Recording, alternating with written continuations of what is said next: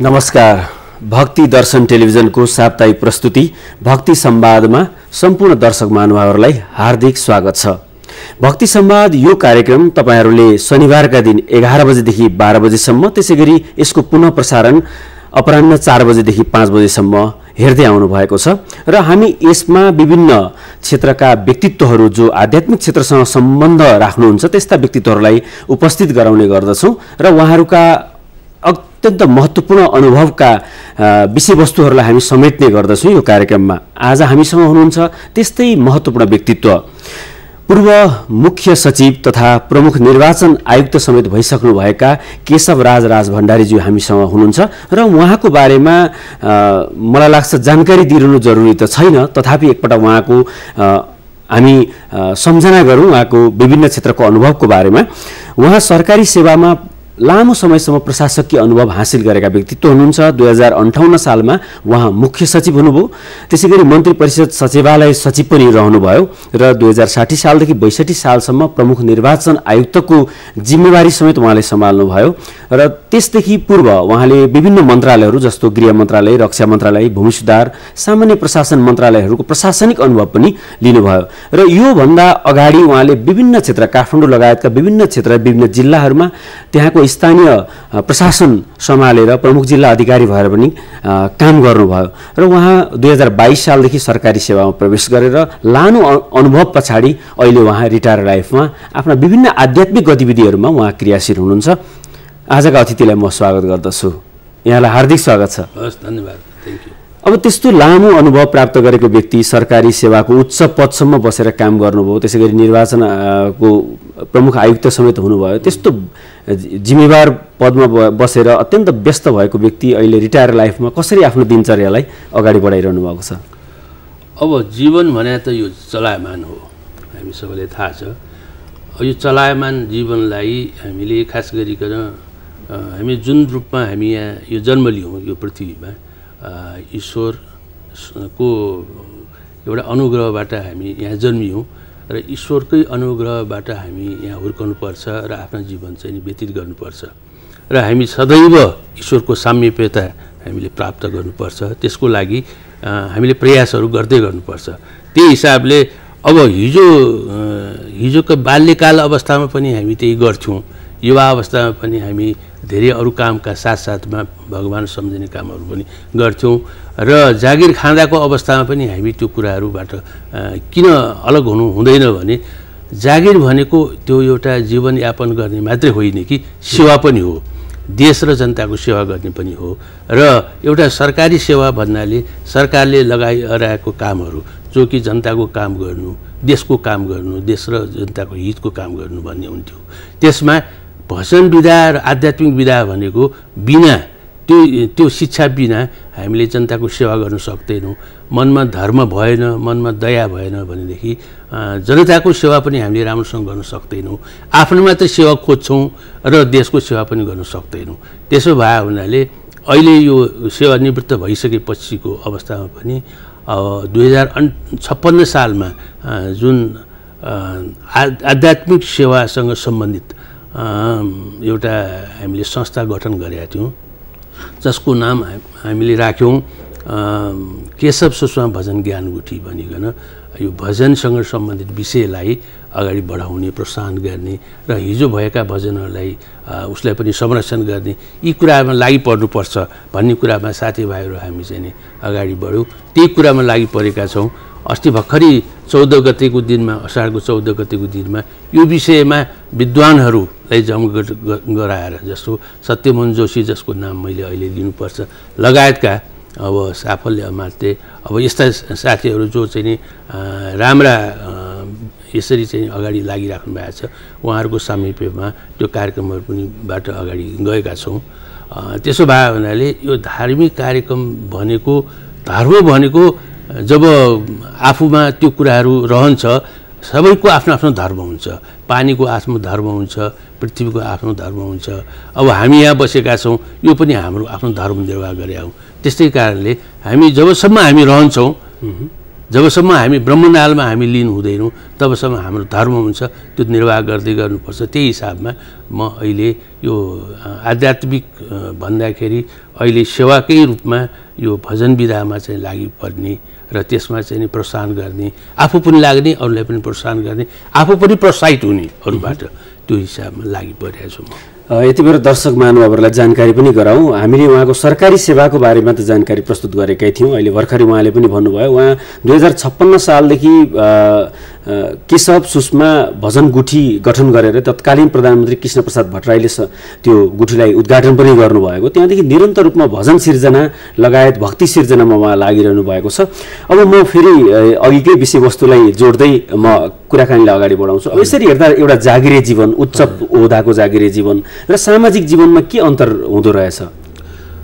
सामाजिक जीवन भन्दाखेरि सामाजिक जीवनमा केही चिज हामीले प्राप्त गर्दैनौँ। जस्तो हामीले आफूसँग भएको चिजहरू सेवाको रूपमा हामी प्रदान गर्छौँ। हाम्रो आफ्नो श्रम समाजको लागि हामी चाहिँ प्रदान गर्छौँ। समाजबाट प्राप्त गर्ने भनेको कुरो के हो भनेदेखि उनीहरूको समाजको माया। हामीले के सेवा गऱ्यौँ र त्यो सेवाको रूपमा हामी रिस्पोन्सको रूपमा हामी समाजबाट प्राप्त गर्ने चाहिँ जुन माया दया हो त्यो चाहिँ नि त्यो हो। अब सरकारी सेवा भनेको सरकारी सेवाले चाहिँ हामीले केही चिज प्राप्त गरेका हुन्छौँ। जस्तो जनताले तिरेको ट्याक्सबाट हामीले चाहिँ केही रेमुनेरेसन तलब आदिको रूपमा सेवाको रूपमा प्राप्त गर्छौँ। त्यही हिसाबले हामीले काम गर्छौँ। तथापि त्यसमा हामीले पनि त्यो सेवा भावना त्यसमा पनि राखेका हुन्छौँ। दया यो नियम ऐन नियम बाहेक पनि ऐन नियम पनि एउटा धर्मकै कुरा हो। ऐन नियम बाहेक पनि आफूले गर्न सक्ने कुरा के हो? जस्तो टेन टु फाइभ हामी अफिसमा बसेर काम गर्छौँ भने टेन टु फाइभ अलावा चाहिँ हामी के गर्छौँ? हामी जहाँ बस्छौँ त्यो समाजको सेवा गर्ने मन मठ मन्दिर छन् त्यसको जिम्मेदार गरिदिनेदेखि लिएर सबैलाई के सेवा पुर्याउन सकिन्छ त्यो गर्नुपर्छ भन्ने मलाई लाग्छ। त्यस कारणले यो दुईवटा कुराहरू अलग होइनन्। एक अर्कोसँग साम्यता जोडिएकै हो। एउटामा हामी केही प्राप्त गर्दैनौँ सामाजिक सेवाबाट धन सम्पत्ति हामी प्राप्त गर्दैनौँ भनेदेखि सरकारी सेवामा हामीले केही रेमुनेरेसन काम गरे बापतमा च्यालाको रूपमा हामी त्यो प्राप्त गर्छौँ। त्यो फरक चाहिँ त्यति मात्रै हो। त्यसमा पनि ऐन नियम हुन्छ समाजमा पनि ऐन नियम हुन्छ। दुवैको आफ्नो ऐन नियम र धर्म हामीले चाहिँ लाई पालन गर्दै अगाडि बढ्नुपर्छ। हुन त पहिलेदेखि नै आधा समय विभिन्न भक्ति सिर्जना र समाजसेवामा लागिरहनु भएको थियो भने अब एउटा दिनै पर्ने समय जुन राज्यले यहाँबाट अपेक्षामा आएको लिएको थियो त्यो समय विभिन्न प्रशासनिक क्षेत्रमा दिँदै आउनु भएको थियो र अहिले आएर पूर्ण रूपमा सामाजिक सेवामा लाग्नु भएको छ। त्यसको सम्बन्धको बारेमा पनि खुलासा गरिसक्नु भएको छ। हरेक व्यक्तिले समाजसेवालाई पनि साथसाथै लिएर जानुपर्छ। अब अहिले रिटायर लाइफमा बसिरहँदाखेरि यत्रो प्रशासनिक अनुभव लिएर प्रमुख जिल्ला अधिकारीदेखि लिएर मन्त्री परिषदको सचिवदेखि लिएर निर्वाचन आयुक्तदेखि लिएर मुख्य सचिवसम्मको होइन? एउटा नेपाली नागरिकले प्राप्त गर्ने ब्युरोक्राट्सको सबभन्दा उच्च पदसम्म पुग्नुभयो। र अहिले सरकारका विभिन्न क्रियाकलापहरू र त्यही संस्थाले गरेका क्रियाकलापहरू फुर्सदमा बसेर निहालिरहनु भएको छ। कस्तो लाग्छ अहिलेको क्रियाकलापहरू? अहिलेको एक्टिभिटिजहरू हेर्दा। म एउटा सानो उदाहरण दिएर आफूले गरेको कामको उदाहरण दिएर यहाँलाई चाहिँ यो जानकारी म यहाँलाई निवेदन गर्छु। म दुई हजार छत्तिस सालदेखि दुई हजार उन्चालिस सालसम्म म सल्यान जिल्लाको प्रमुख जिल्ला अधिकारी हुँ। त्यो प्रमुख जिल्ला अधिकारी हुँदाको अवस्थामा प्रमुख जिल्ला अधिकारीको मुख्य काम के हो भने शान्ति सुरक्षा कायम गर्नु र त्यसमा आफ्नो मातहतमा भएका कुराहरूले न्याय प्रदान गर्नु जनताको लागि त्यो हो। त्यसको अलावा हामीले गर्नुपर्ने कुराहरू चाहिँ हो जस्तो सामाजिक कुराहरूलाई पनि प्रशय गर्नु अथवा चाहिँ विकासका काममा पनि आफूले केही कुराहरू गर्नु त्यो हुन्छ। तर धेरै जसोको त्यस्तो चाहिँ त्यस्तो भएको हामीले प्राप्त गरेका छैनौँ। अब त्यहाँ गरियो के भनेदेखि त्यस बेलाका सरकारी सेवामा रहेका कर्मचारी साथीहरूसँग सल्लाह गरेर सल्यान जिल्लामा तपाईँ जानुभएको भएदेखि अहिले त त्यहाँ मोटर बाटो चाहिँ छ।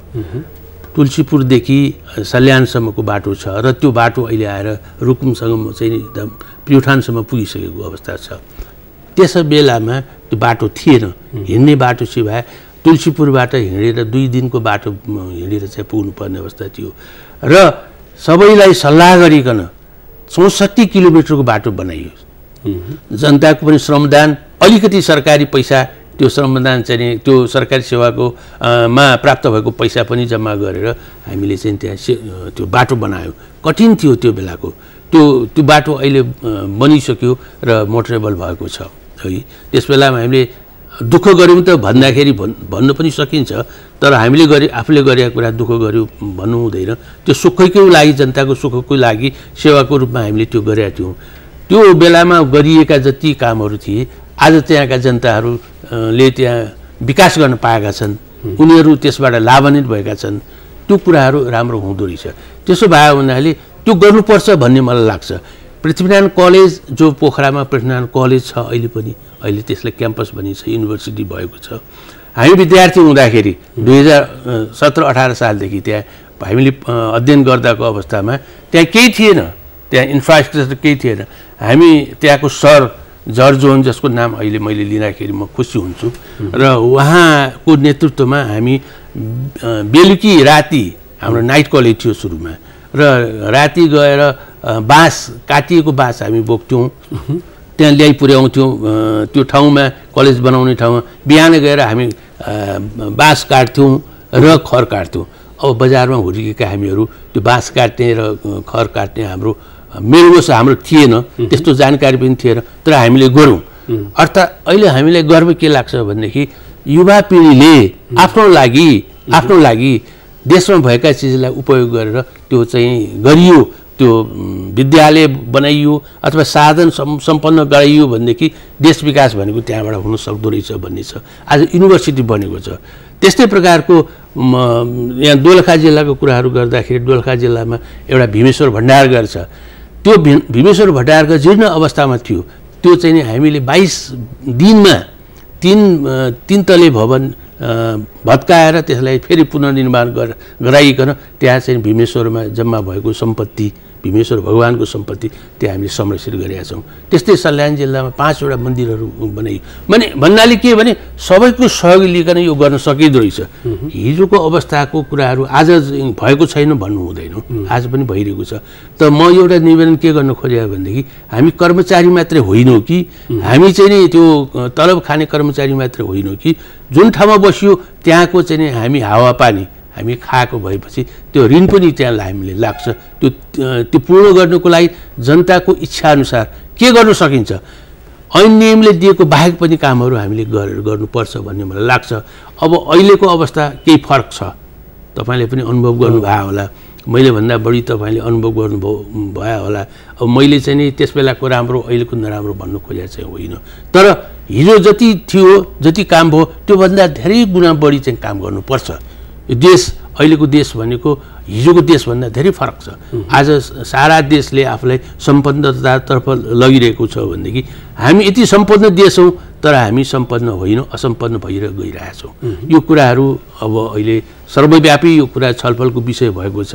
त्यस कारणले हामीले चाहिँ नि हिजोको अवस्थालाई चाहिँ निहाल्दाखेरि हिजो भएका गल्तीलाई सुधार्ने र नभएका कुरा राम्रो गर्ने त्यो हिसाबमा हामी अगाडि बढ्नुपर्छ भन्ने मलाई। अब यति बेर हामीले दर्शकलाई साँची राखेर यो कुरा गरिरहेका छौँ। सम्पूर्ण यहाँको कुरा पनि मेरो कुरा पनि सुन्ने त दर्शकै हुनुहुन्छ होइन? अहिले पछिल्लो समयमा एउटा जनगुनासो व्यापक छ। धेरैले अनुभूति गरेको कुरा पनि हो कि अब सदाचार शिष्टाचार र नैतिकता चाहिँ घट्दै गएको होइन? अनि एक प्रकारको भ्रष्टाचार मौलाउँदै गएको देखिन्छ जुन जनतासँग प्रत्यक्ष सरोकार राख्ने संस्थामा। तपाईँलाई चाहिँ के लाग्छ? साँच्चै हो यो? अब यो भ्रष्टाचार भन्ने विषय कस्तो रहेछ भने जब मानिसमा आचरण हुँदैन नि हजुर। त्यो भ्रष्टाचार बढ्छ। त्यो आचरण बढाउनुको लागि नै हामीले धर्मप्रति हाम्रो निष्ठा र हाम्रो आस्था बढाउनुपर्छ। हाम्रो यो जुन संस्थाको कुराहरू हो आज त तपाईँको जुन यो संस्था अहिले खोलेर अहिले भक्ति दर्शन भनिकन सबैलाई चाहिँ तपाईँले चाहिँ यो शिक्षा दिने लिने सबै कुराहरू सिकाउने कुराहरू गर्दै हुनुहुन्छ सिक्ने कुराहरू गर्दै हुनुहुन्छ।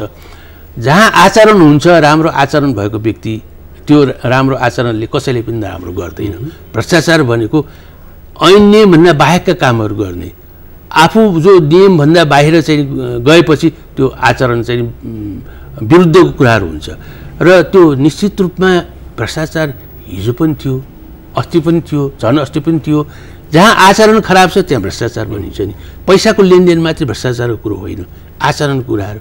कसैलाई दबाउनु कसैको चिज अपहरण गर्नु कसैको चाहिँ विषय कसैको इच्छालाई हामीले अ, धिक्कार्नु मार्नु त्यो पनि भ्रष्टाचारको विषयभित्र पर्दछ। त्यसो भयो भन्नाले अब अहिले चाहिँ नि वास्तवमा हिजोको भन्दा अलिक बढेको छ। त्यो चाहिँ आचरण बिग्रेको अवस्था छ भन्ने कुराहरू तपाईँले पनि महसुस गर्नुभएको छ सबैले महसुस गरेका छ त्यसमा म पनि अछुतो हुन सक्दिनँ। म पनि मैले पनि महसुस गर्छु त्यो। अब यो कुरालाई हामीले चाहिँ कसरी गर्ने त? यो विस्थापित कसरी गर्ने? भ्रष्टाचारले विस्थापन कसरी गर्ने? भन्दाखेरि प्रत्येक व्यक्तिले आफू उभिएको ठाउँमा म के हुँ र मैले के गर्नुपर्छ भन्ने कुराहरू हामीले सोच्यौँ। र हामीले चाहिँ नि सबैको राम्रो भलो हुने कामहरू हामीले गऱ्यौँ भनेदेखि त्यो भ्रष्टाचार कम भएर जान सक्छ होइन? निर्मूल नहोला हिजो रामको राज्यमा पनि धोबी थिए। राम राजा थिए र आज पनि हामीले राम राजाले सम्झन्छौँ। त धोबी हिजो पनि थिए। त्यस्तै प्रकारको हिजो चाहिँ नि कृष्णको पालामा आफ्नै मामा कंस थिए। भनेदेखि महाभारतको सत्र दिनको लडाइँको कारण चाहिँ भ्रष्टाचारकै कारण हो। सँगसँगै अँध्यारो पनि हुन्छ। धृतराष्ट्र भनेको त्यो के हो भनेदेखि ऊ आफै चाहिँ भ्रष्टाचारको प्रतीकको रूपमा रह्यो। किनभने आफ्नो छोरालाई मात्रै राम्रो गर्ने सबै शक्ति चाहिँ उसैलाई मात्रै दिने भनेको त्यो कारणले गर्दाखेरि सत्र दिनसम्म लडाइँ लडेर अब कृष्णको कारण कृष्णबाट नै त्यो सबै त्यस बेलाको परिस्थितिलाई सुधार्न कृष्णको चाहिँ जन्म हुनु पर्यो भगवान्को रूपमा उहाँ जन्म हुनुभयो त्यसो भयो भन्नाले हिजो जे भ्रष्टाचार थियो हिजो अस्ति पनि त रहेछ रहन त। न देवी देवताको पाला पनि रहेछ।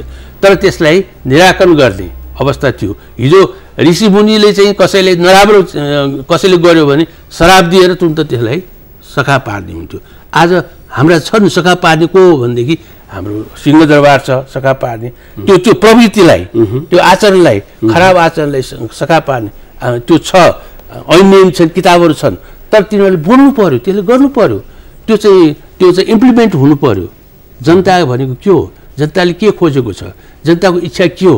त्यसलाई कसरी चाहिँ हामीले निराकरण गर्ने भन्नेतर्फ चाहिँ लाग्नुपर्छ। जस्तो बेला बेलामा चाहिँ प्रधानमन्त्रीज्यूले हामी मुख्य सचिव भइसकेकाहरूलाई चाहिँ पनि उहाँहरूले बोलाउनुहुन्छ। हामी त्यो भन्ने गर्छौँ यो सिंहदरबार भनेको जनताको सिंहदरबार हो। यो चाहिँ तपाईँहरू यहाँ त बस्नु भएको छ। तपाईँले भोट दिएर ल बस्नुहोस् आफ्नो काम गर्नुहोस् भनेर पठाउनु भएको छ उहाँहरूले। अब त्यो काम सिद्ध्याउनुको लागि गर्नुको लागि सिंहदरबारमा उनीहरूले दिएको अधिकार जनताले दिएको अधिकार चाहिँ नि त्यो पुरा गर्नुको लागि सिंहदरबारको अधिकार घर दैलो जनताको घर दैलोमा पुग्नुपर्छ। भन्ने मेरो आफ्नो सोच यसरी भनिरहँदाखेरि एउटा व्यक्तिको र समाजको चरित्रको विकास सँगसँगै आध्यात्मिक विकासको पनि अत्यन्त निकट सम्बन्ध छ। पक्कै। त्यो कुराको अभाव त्यो कुराको अलिकति पूर्ति पर्याप्त नहुँदाखेरिको यो सबै किसिमको विकृति विसङ्गति जन्मिएको भन्न सकिन्छ? पक्कै पनि यो विसङ्गतिका अवस्थाहरू अहिले चाहिँ नि विकसित भइरहेको गइरहेको छ भन्ने कुराहरू। अब अहिले सबैको मानसिकतामा त्यो रहेको छ। विरोधका कुराहरू आएका छन्। हुनलाई त यो विरोध गरेर मात्रै त्यो कुरा सम्पूर्ण निराकरण हुने कुरा होइन। आफूले समर्थन गर्नुको अर्थ के हो भने आफू सुध्रिनु पर्यो। आज देशमा चाहिँ जो हामी केही गर्छौँ जनताको लागि गर्छौँ भनिकन सबैलाई भनेर सबैले आश्वासन दिएर आउनुभएकाहरू हुनुहुन्छ। सबै खराब छैनन्। होइन? ज खराब नभएकाहरूले चाहिँ नि अझ राम्रो भएर जानु पर्यो। खराब भएकोले सुधार्नु पनि सक्नु पर्यो। र उहाँहरूले चाहिँ नि जस्तो तपाईँले टेलिभिजनमा चाहिँ मेरो अनुवाद देखाइराख्नु भएको छ होइन? भनेदेखि म म के हुँ भन्ने कुराहरू मैले त टेलिभिजनमा मैले आफूले देख- देखाउनु पर्यो देखिनु पर्यो नि त। ममा कुनै दाग छ भने त्यो दाग मेटाउनुतर्फ मैले प्रयास गर्नु सक्नु पर्यो। त्यतातर्फ चाहिँ लाग्न सकियो भनेदेखि मलाई लाग्छ निश्चित रूपमा देशको भवि भविष्य राम्रो होला। हाम्रो यो चाहिँ नि आस्थाको केन्द्र भनौँ न यो धर्म आस्थाको केन्द्र धर्म जसलाई हामी आज चाहिँ विभिन्न हिसाबमा अब यसलाई विस्थापित गर्नेतर्फ पनि कतिपयले चाहिँ लागिरहेको देखिन्छ।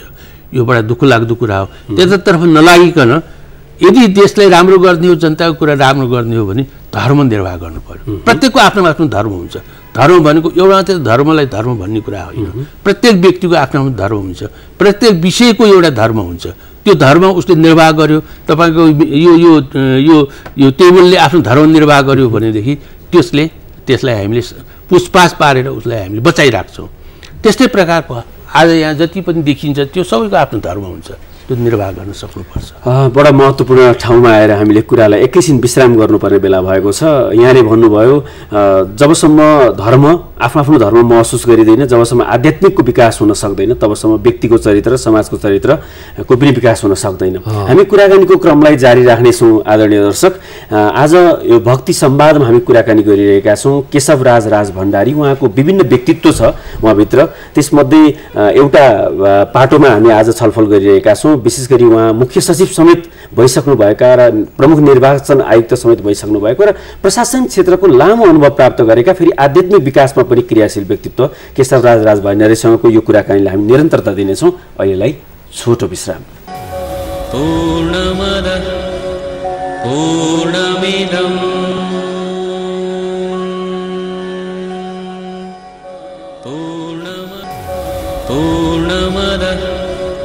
पूर्णमिदम्।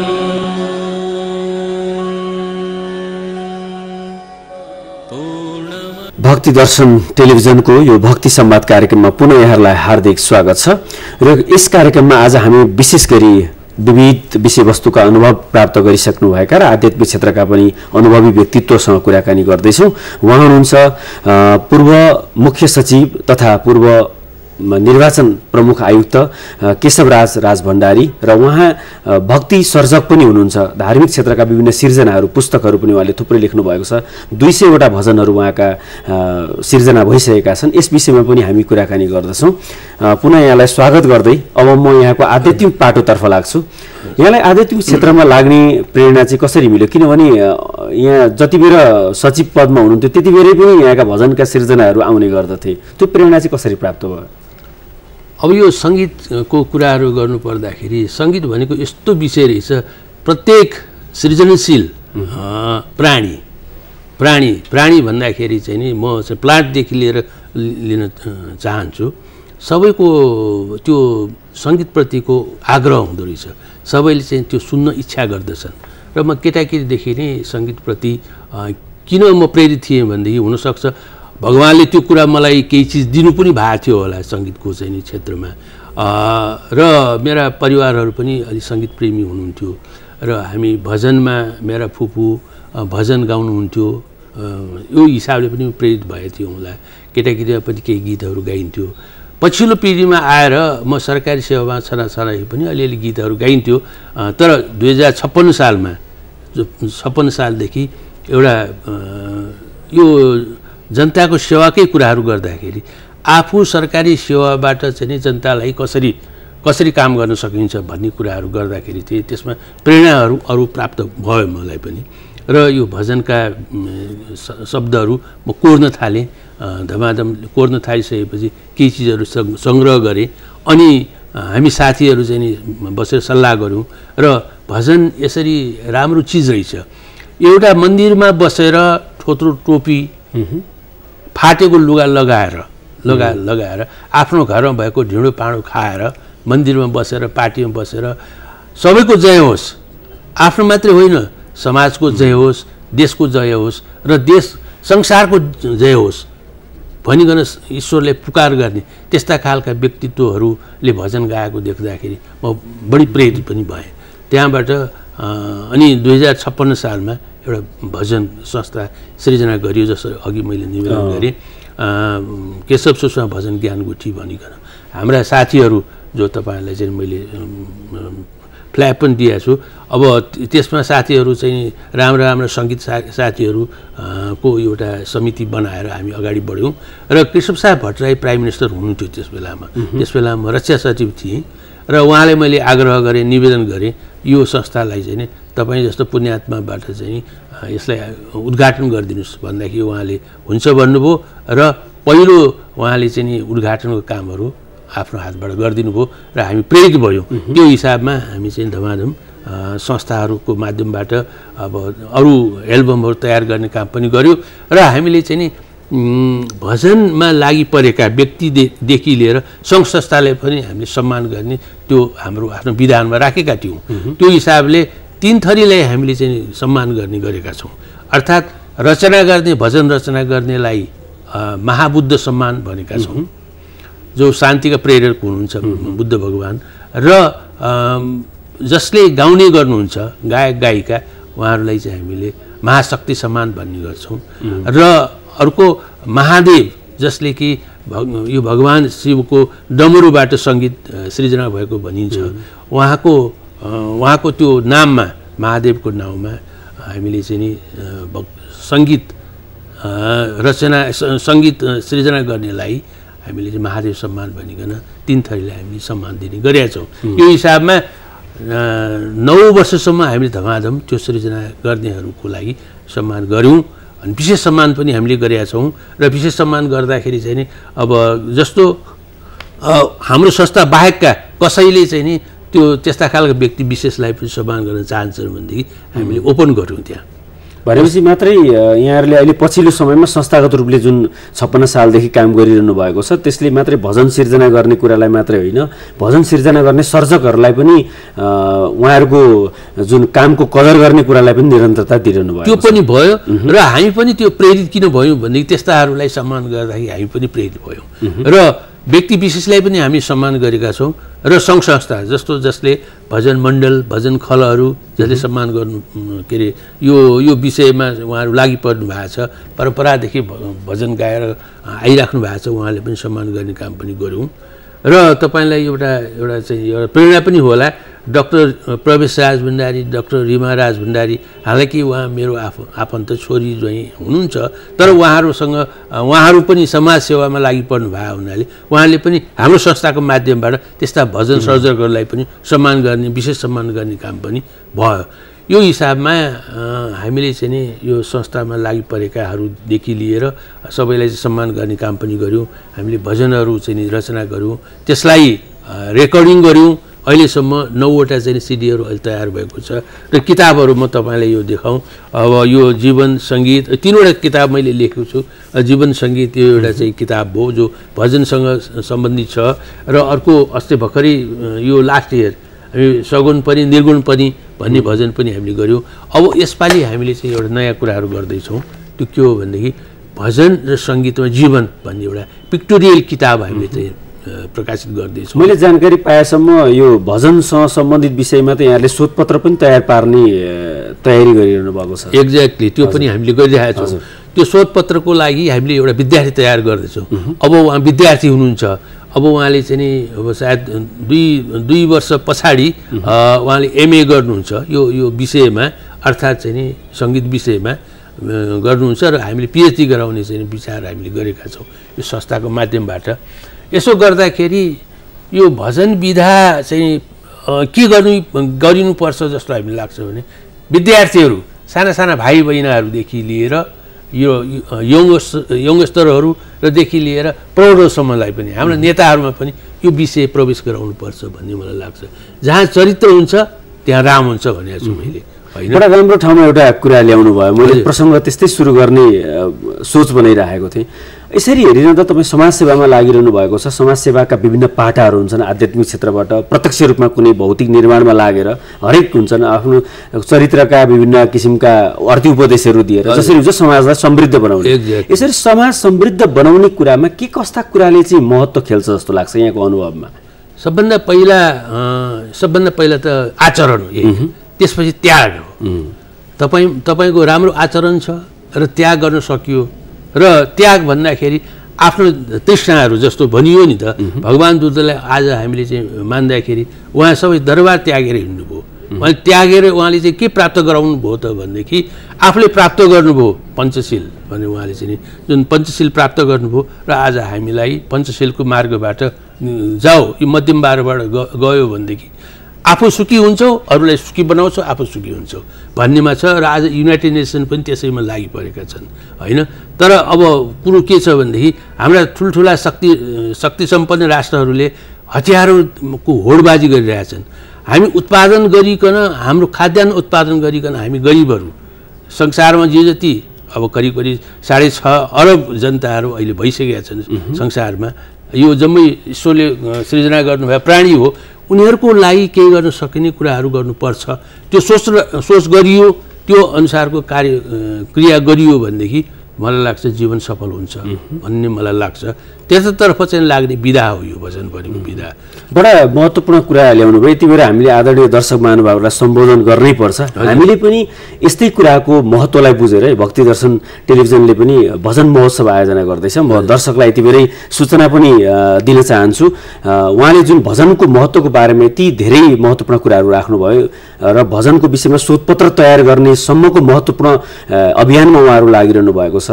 यही कुरालाई लिएर हामीले पनि भजन महोत्सव आयोजना गर्दैछौँ। त्यसमा तपाईँहरू सहभागी हुन सक्नुहुन्छ। पच्चिस गतेसम्म नाम दर्ता गराउन सक्नुहुन्छ। हाम्रो यो भक्ति दर्शन टेलिभिजनको नियमित टेलिफोन नम्बर जुन स्क्रिनमा हामीले देखाइरहेका हुन्छौँ त्यसमा टेलिफोन गर्न सक्नुहुनेछ।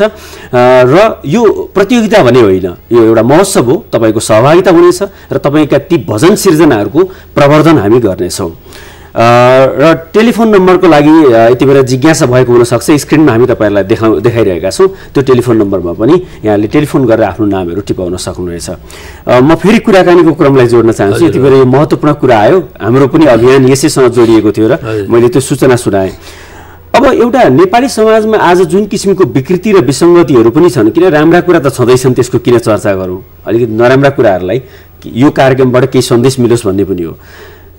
यो विकृति विकृति विसङ्गति जुन किसिमको विकृति विसङ्गतिहरू समाजमा विभिन्न युवा क्षेत्रमा अब समाजसेवाको क्षेत्रमा अथवा ब्युरोक्राट्समा जहाँ जे जे होस् त्यो के को प्रभाव हो जस्तो लाग्छ? एउटा त समयको प्रभाव पनि हो। एउटा कलियुग भनिन्छ नि। कलियुग भनेको के रहेछ भने खराब चाहिँ आचरणको युग खराब आचरण। त्यो खराब आचरणको कारणबाट पनि यसको यो प्रभाव भएको हो। आज मानिसमा दया भन्ने कुराहरू कम भएर गयो। जस्तो आज तपाईँहरूले चाहिँ हेर्नुहुन्छ अस्ति भर्खरै करिब करिब तिन सय जवान मानिस चढेको प्लेनलाई कसैले उडाइदियो। कसैबाट यो हतियार प्रयोग गरिकन त्यो उडाइदियो। त्यसमा चाहिँ त्यो उडाउने मानिसमा दया थियो भने त्यसले त संरक्षण गर्नुपर्ने थियो। यस्ता खालका विचारहरू यहाँ चाहिँ संसारमा चाहिँ लागि परेका छन् होइन?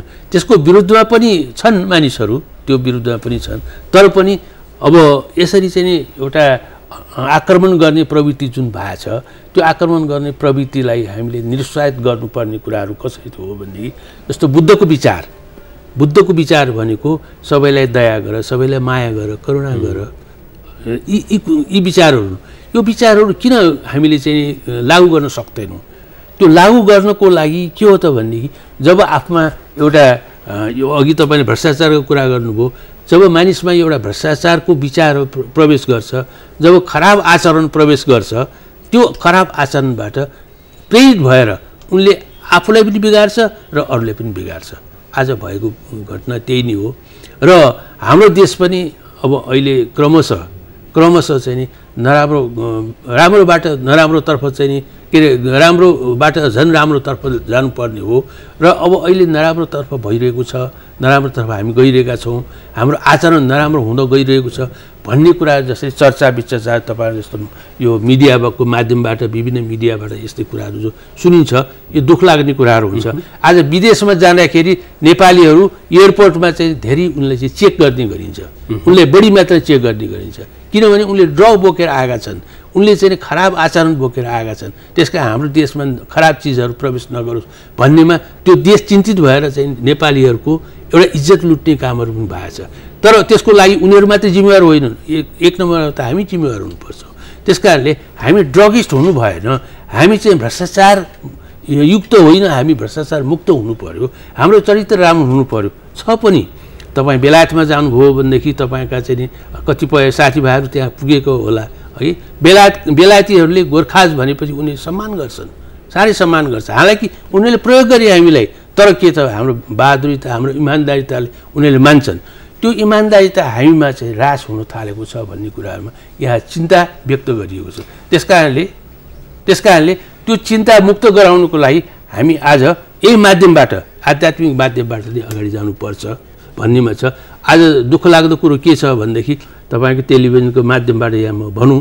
यहाँ के हो भनेदेखि हिन्दू धर्मको कुराहरूमा आज विभिन्न यहाँ चाहिँ आलोचनात्मक कुराहरू गरियो। अर्थात् धर्म निरीक्षि निरपेक्षताको कुराहरू यहाँ भइरहेको छ। धर्म भनेको सबैको आफ्नो आफ्नो धर्म हुन्छ। हिन्दूको आफ्नो धर्म छ मुस्लिमको आफ्नो धर्म छ क्रिस्चियनको आफ्नो धर्मको जैनको आफ्नो धर्म छ उनीहरूले आफ्नो आफ्नो धर्म मान्न दिनुपर्छ। तर के हो भने सबै देशको आफ्नो धर्म हुन्छ आफ्नो धर्म हुन्छ। भनेको एउटा इजरायलीहरू जुहरूले चाहिँ आफ्नो धर्म भनिकन आफ्नो देशलाई जुको देश भनिकन उनीहरूले आफूलाई अगाडि बढाइरहेको छ। त्यहीबाट उनीहरूले विकास गरेका छन्। यो हामीले बुझेका छौँ। त्यस्तै प्रकारको हाम्रो यो हिन्दू राष्ट्र भन्ने थियो र आज संसारमा एउटै मात्र हिन्दू राष्ट्र थियो। त्यसले चाहिँ कुन चाहिँले के बिगारेको थियो? तर हामी विदेशीहरूबाट हामी प्रभावित भयौँ भन्ने कुरा आएको जुन कुरा दुःखको कुरा हो यी कुराहरू हामीबाट परासीन हुनुपर्छ। यहाँबाट तिनीहरूलाई चाहिँ हामीले विक्षिप्त गर्नुपर्छ। त्यस्तो विचारहरू विक्षिप्त गर्नुपर्छ। आज यहाँ जति पनि यहाँ मुसलमानहरू यहाँ रहे रहेका छन् ती मुसलमान दाजुभाइहरू उनीहरू हिन्दू र मुस्लिमको बिचमा कुनै फरक देख्दैन। तपाईँ तराईहरू जहाँ मुस्लिम सङ्ख्या बढी छन् त्यहाँ हिन्दू पनि बसेका छन्। हिन्दूले मुस्लिमको धर्म मान्छन् अनि मुस्लिमले हिन्दूको धर्म मानेका छन्। कहीँ कुनै किसिमको झै झगडा थिएन। यहाँ बेकारमा यो कुराहरू किन ल्याउनु? अब यही यही तर्क अब हामीसँग समय पनि कम भएको हुनाले छोटो संक्षिप्त जवाबको अपेक्षा राख्छु। यही तर्कलाई टेकेर कुरा गर्दाखेरि एउटा राष्ट्रको स्तर उन्नति हुने कुरामा अथवा स्तर उन्नति नभएर स्तर खस्किने कुरामा चाहिँ को दोषी हुन्छन् त? जस्तो प्रशासकहरू दोषी हुन्छन् कि राज्यका नेतृत्व पङ्क्ति दोषी हुन्छन् कि जनता दोषी हुन्छन्? तपाईँले कसलाई देख्नुहुन्छ? अब यसमा जनता प्रशासक र यो नेता भन्ने जुन कुराहरू छ नि सबै नेता दोषी छैनन्। सबै प्रशासक दोषी छैनन्। सबै जनता दोषी छैनन्। हाम्रो प्रवृत्ति दोषी हो। जसको प्रवृत्ति त्यो खराब छ त्यो दोषी हो। त्यस कारणले त्यसमा प्रशासक पनि दोषी होला त्यसमा नेतृत्व पनि दोषी होला त्यहाँ जनता पनि दोषी होला। त्यस कारणले जनताले चाहिँ अधिकांश जनताले के चाहेका छन् भने हामी सुरक्षित भएर बाँच्न पाऊँ हाम्रो आफ्नो धर्म चाहिँ निर्वाह गर्न पाऊँ। त्यो जनताको भनाइ छ र प्रशासक भनेको जनताबाट पोषित व्यक्ति अथवा चाहिँ नि जनताले चाहिँ नि दिएको ट्याक्सबाट कमाइ गरेर खाने व्यक्तिहरू र नेताहरू भनेको उनीहरूको भोटबाट कमाइ गरेर खाने व्यक्तिहरू। त्यसो भयो हुनाले जब जनताको इच्छा चाहिँ नि यो हामी धर्म निर्वाह गरिकन काम गर्न पाऊँ भन्ने छ भनेदेखि उनीहरूको निर्वाहलाई हामीले सराह सहायता चाहिँ हामीले दिनुपर्छ र उनीहरूले सम्मान गर्नुपर्छ भन्ने मलाई लाग्छ। र नेपाल र नेपालीको भविष्य चाहिँ कस्तो देख्नुहुन्छ? लगभग हामी अन्त्य अन्त्यतिर आइ आइपुगेका छौँ। अबको भविष्य कस्तो देख्नुहुन्छ? किन मैले त्यो सोधेँ भने यहाँ त लामो समयसम्म प्रशासक भएर नेपालीलाई नजिकबाट चिन्नुभयो नि त। राज्यकै प्रशासन चलाउनु भयो। अब कस्तो भविष्य देख्नुहुन्छ? भविष्य नेपालको भविष्य खराब छ भनिकन चाहिँ यहाँ जति भनिन्छ मलाई त्यस्तो लाग्दैन भविष्य खराबै हुन्छ भन्ने मलाई लाग्दैन। हामी यो दुःखको अवस्थामा हामी छौँ। हिजोको कुराहरू सम्झौँ त हामीले चाहिँ नि पुराणहरूको कुराहरू कथाहरूका कुराहरू सुनौँ। होइन कंसले आफ्ना बाबुलाई आफ्नो बाबु जो राजा थिए उनलाई चाहिँ लगेर चाहिँ थुनामा राखे। आफ्ना भानिजहरूले मारे छ भाइ छ भानिजहरूले उनले मारे होइन। भनेपछि त त्यो कन्टिन्यू भयो त भएन। आखिरमा गएर कंस त एउटा प्रवृत्ति हो। त्यो खराब प्रवृत्ति हो। उनलाई मार्दै त भगवान् त जन्मनु भयो नि। त्यसैले भनिन्छ यदा यदा हि धर्मस्य ग्लानिर्भवति भावना त्यो कुरा त पक्कै पनि हुन्छ। यहाँ आज जसले पनि यहाँ खराब गरेका छन् त्यसको चाहिँ त भलो त हुँदैन। हामी देखिरहेका छौँ नि। यहाँ खराब हुने चाहिँ नि अब अधोगतिमा गइरहेका छन्। को को गइरहेछन् त्यो कुराहरू समाजले भन्ने कुराहरू होइन? त्यसैले प्रशासनमा बस्नेहरू पनि खराब पनि होलान्। तर उनीहरूको पनि भविष्य नराम्रो त। उनीहरू आफैले गरिरहेका छन् त। उसको सन्तानले सराप्ने कामहरू उनीहरूले गरिरहेका छन्। त्यस्तै हामीले एउटा सोच्नुपर्ने कुरा नै के हो भनेदेखि मैले तपाईँले सम्मान गर्न सकौँ। तपाईँको सम्मान जति मैले प्राप्त गरेको छु त्यो सम्मानलाई मैले सम्मानित गर्न सकौँ।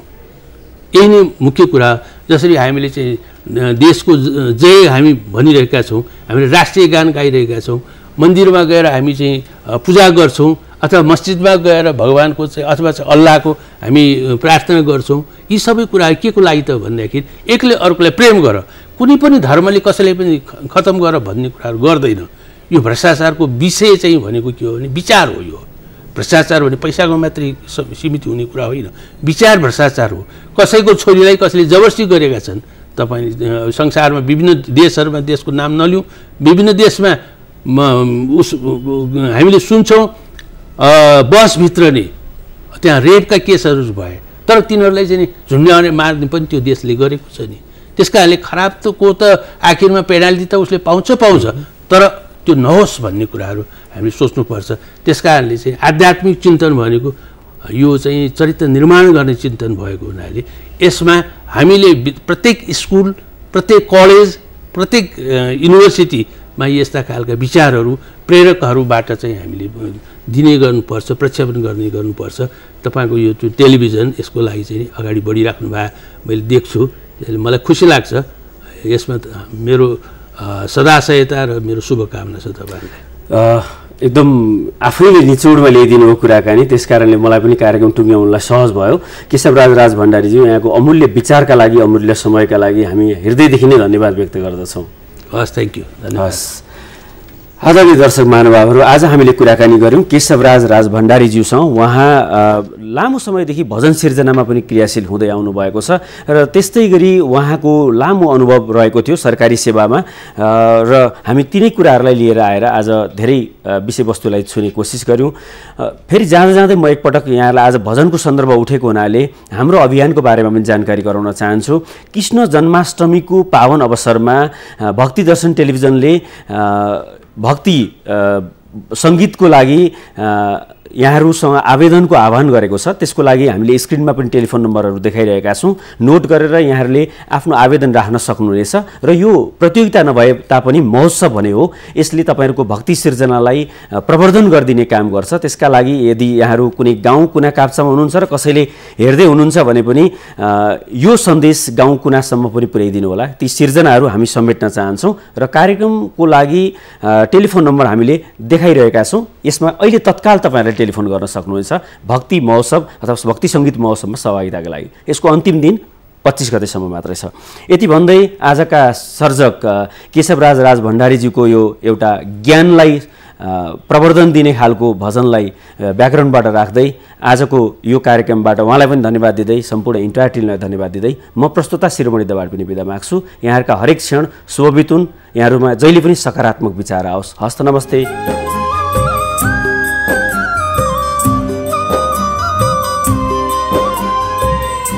ज्ञानी हुन सकेन बाटो देखाइदेऊ। ज्ञानी हुन सकेन बाटो देखाइदेऊ। मनको दैलो खोल्न सकिन प्रभुले खोलाइदेऊ। प्रभु आई खोलाइदेऊ प्रभुले खोलाइदेऊ। लौनाई खोलाइदेऊ पूर्णमदः